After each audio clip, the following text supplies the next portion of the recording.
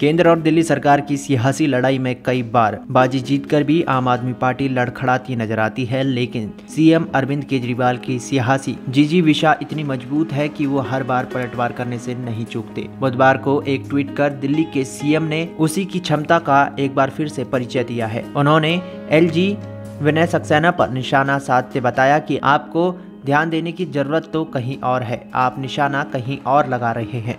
दिल्ली के मुख्यमंत्री अरविंद केजरीवाल ने कहा कि दिल्ली में हर रोज अपराध की खबरें आ रही हैं। अपराधी बेखौफ है। जनता का पुलिस पर से विश्वास उठता जा रहा है। एलजी साहब, वक्त निकाल कर देखिए कि जनता कितनी डरी हुई है। जनता राजनीति नहीं, बल्कि काम चाहती है। सुरक्षा, बदमाशों और बेलगाम अधिकारियों से चाहती है। आप राजनीति करने की बजाय कृपया वो काम करिए जो संविधान ने आपको दिया है। देश की राजधानी के सीएम केजरीवाल ने एलजी पर ये तंज, उस समय कसा जब दोनों के बीच तकरार चरम पर है। अध्यादेश सहित कई मुद्दों पर सियासी और कानूनी संघर्ष का दौर जारी है। अपने ताज़ा ट्वीट के ज़रिए सीएम ने संकेत दिलाते हुए कहा कि एलजी साहब दिल्ली की जनता परेशान है। दरअसल, सीएम अरविंद केजरीवाल और एलजी विनय सक्सेना के बीच मसलों पर विवाद चरम पर है। दिल्ली में अधिकारियों की ट्रांसफ़र पोस्टिंग में अध्यादेश लागू होने से एलजी एक बार फिर से 20 साबित हुए हैं। इस स्थिति को पलटने के लिए दिल्ली के सीएम ने केंद्र के खिलाफ विपक्षी एकता की मुहिम चला रखी है। इसके अलावा एमसीडी के